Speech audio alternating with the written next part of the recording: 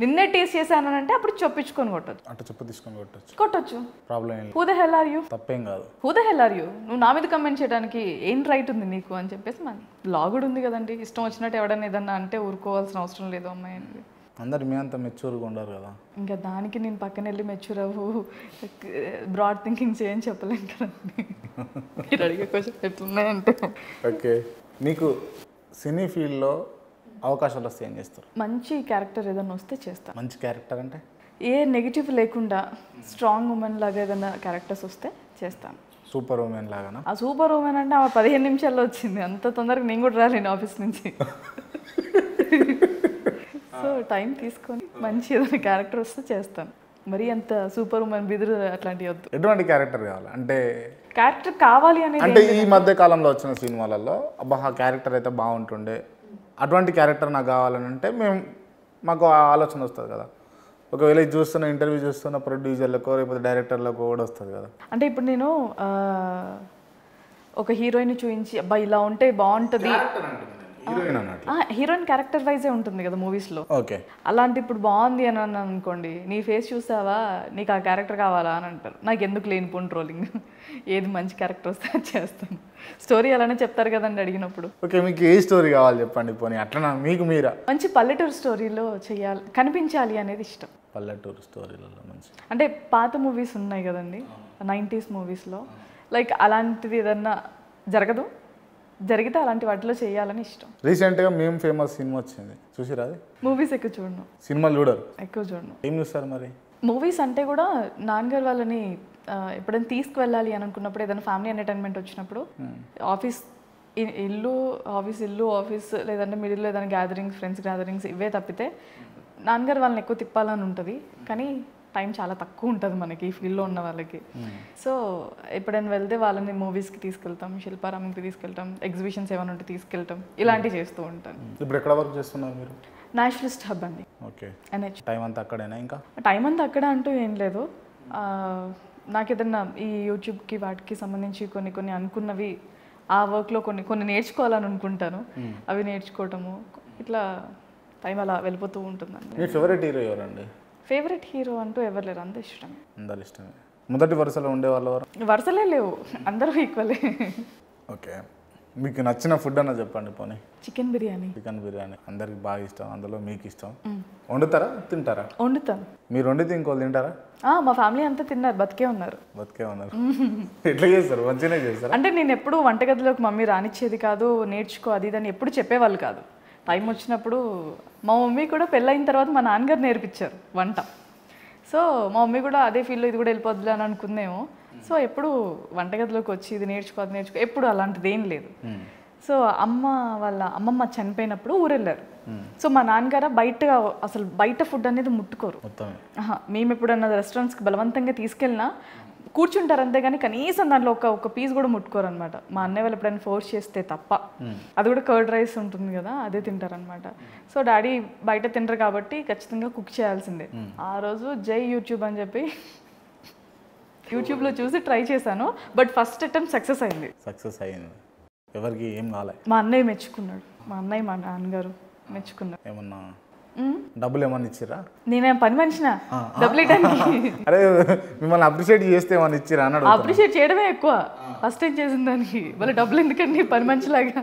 నన్ను పని మనిషిని చేశారు ఈయన. అరే డబ్బులు ఇస్తే పని మనిషేనా? మరి డబ్బులు ఎందుకు ఇస్తారండి ఇంతవరకు మీ అన్న దగ్గర మీ నాన్న దగ్గర అమౌంట్ తీసుకోలేరా? వంట చేసి తీసుకుంటారా? వంట చేసి కదండి జనరల్గా మీరు తీసుకోలేరా? జనరల్గా అడగండి. వంట చేసినందుకు ఇచ్చినట్టుంది.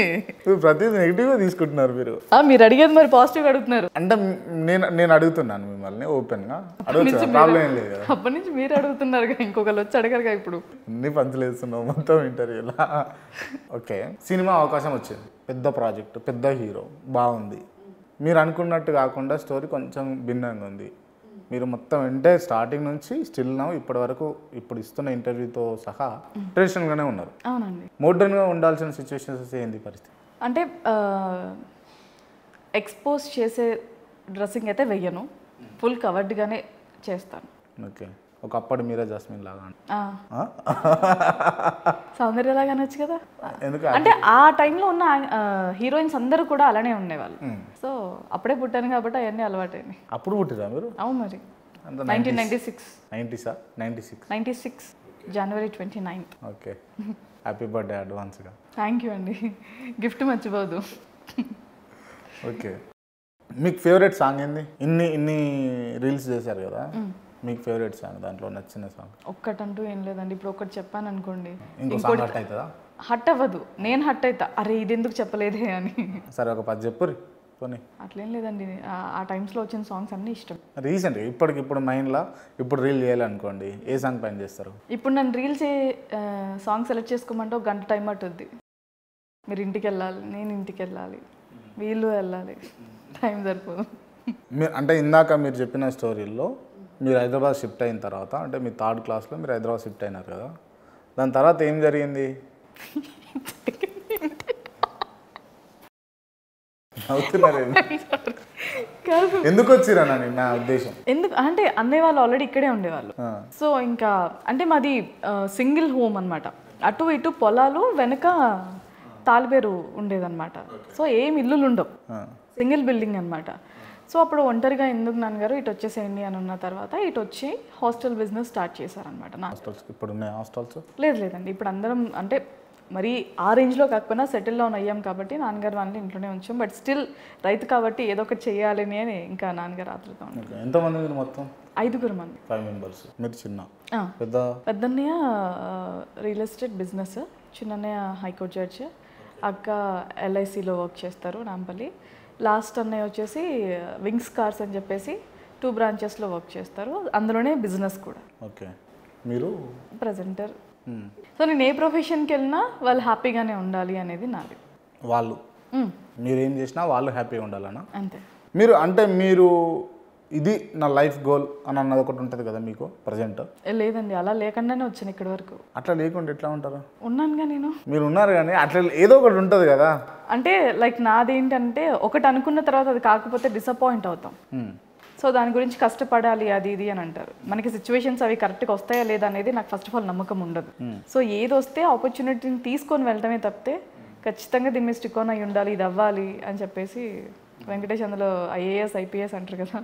అలాంటి కళ్ళేం లేవు అనమాట లైక్ మా ఫ్యామిలీని కూడా ఎందుకు డిస్టర్బ్ చేయను అని అంటే నేను లాస్ట్ సో వాళ్ళకి వాళ్ళు సెల్ఫ్గా పేరు సంపాదించుకున్నారు. ఇప్పుడు వాళ్ళకంటే ఎక్కువ మీకు పేరు ఉంది కదా. అంటే ఎడవైనా కూడా ఏం భారతి చౌదరి అంటే గుర్తుపట్టే స్థాయికి వచ్చారు కదా. అవును అనుకోండి కానీ వాళ్ళకున్న స్థాయి వాళ్ళకున్న రెస్పెక్ట్ అనేది వాళ్ళతో పోల్చుకుంటే నాకు స్టిల్ ఇప్పటికీ తక్కువే అని అనుకుంటాను ఓకే. ఫ్యామిలీ మెంబర్స్ కాబట్టి మీరు అట్లా చెప్పుకుంటున్నారు. ఫ్యామిలీ అని కాదు. అంటే హయ్యర్ పొజిషన్ ఉన్న వాళ్ళు ఎవరైనా గ్రేట్ అని చెప్తాను లైక్ ఇప్పుడు మీరు పొలిటీషియన్ ఇంటర్వ్యూస్ చేస్తారు అని చెప్తారు. సో నాకు నేను న్యూస్ ప్రజెంటర్ అయినప్పటికీ ఉన్నది ఉన్నట్టుగా చదవటం నాకు తెలుసు. అంతేకాని డెప్త్కి వెళ్ళి తెలుసుకోవడం అనేది నాకు చాలా కష్టం. నేను వచ్చి ఒక ఫోర్ ఫైవ్ ఇయర్స్ అవుతుంది ఫీల్డ్కి వచ్చి. స్టార్టింగ్ నుంచి తెలుసుకోవాలంటే చాలా మైండ్ అంటే చాలా పెట్టాలి అది. సో నేను అవన్నీ తెలుసుకోలేదు. సో నాకంటే మీకు ఎక్కువ నాలెడ్జ్ ఉంది కాబట్టి ఐ రెస్పెక్ట్ యూ. మిమ్మల్ని ఎవరైనా తక్కువ చేస్తే నేను ఒప్పుకోను. లైక్ ఎవరికి ఉండాల్సిన ఈక్వాలిటీ ఎవరికి ఉన్న రెస్పెక్ట్ వాళ్ళకే ఇవ్వాలనేది నా సార్ మీరు న్యూస్ ప్రజెంట్ చేస్తుంటారు కదా ఎక్కువ ఏ న్యూస్ చదువుతుంటారు? మనకి డైలీ బులెటిన్ ఉంటుంది కదండి అన్నీ కవర్ చేస్తాం కదా. ఎక్కువ మీకు ఫేవరెట్ ఏది న్యూస్? ఎంటర్టైన్మెంటా లేకపోతే పొలిటికల్ పొలిటికల్ అంటే రాసే దాన్ని బట్టి ఉంటుంది. చదివే దాన్ని బట్టి మజా వస్తుంది అనమాట మీకు ఏది మజా వస్తుంది చెప్పారు అయితే మీ భాషలా? అంటే ఇలా అన్నారు అలా అన్నారు అన్నదానికి రీట్వీట్స్ చేస్తూ ఉంటారు అప్పుడు చదివేటప్పుడు బాగా అనిపిస్తుంది అనమాట సరే. ఏదన్నా నేను ఒక అంటే మీకు ఒక టాస్క్ ఇస్తా. ఏదన్నా మీకు మీకు సాంగ్స్ నచ్చవని అన్నారు కదా ఏదన్నా ఒక సాంగ్ తీసుకొని దాన్ని న్యూస్ ప్రజెంట్గా చేయండి. వద్దండి. ఎందుకంటే సాంగ్ సాంగ్ లాగే బాగుంటుంది మళ్ళీ ఒకసారి ట్రై చేయండి ఏం కాదు. లేదు లేదు నాకు రాదు. ట్రై చేయండి వస్తుంది ఏం కాదు. వద్దండి. ఎందుకండి? సామాజ వర్గం అని అయిపోతుంది అంతా. ఆ? చేయండి ఏం కాదు. లేదు లేదు రాదు. రాదనడం బెటర్ కావచ్చు. అంటే రాంది రాదని చెప్పాలి కదండి. సరే సరే. ఏదైనా ఒక స్టేట్మెంట్ తీసుకొని చేయండి. లేదు. కొత్త టాస్క్లు ఒప్పుకోను. ప్రిపేర్ అయ్యొచ్చు ప్రిపేర్ అంటే ఏం లేదు నాకు రాంది రాదని చెప్తాను. స్టిల్ ఇప్పటికీ మా వాళ్ళు ఎవరన్నా డిబేట్స్కి చెయ్యాలి అని అన్నప్పుడు స్టిల్ మా ఎండి సార్ ఉన్నా సరే నేను నో అని చెప్తాను ఎందుకంటే రాదు అన్నది రాదు అన్నట్టే ఉండాలి. నేర్చుకొని వెళ్ళాలి కానీ అథోరాక్షన్ చేసి ఆన్ ఎయిర్ వెళ్ళాం అనుకోండి. మీరు ఎక్కువ ఏ న్యూస్ ఫాలో అవుతుంటారు? మా సార్ వాళ్ళు ఏ స్క్రిప్ట్ ఇస్తే అది.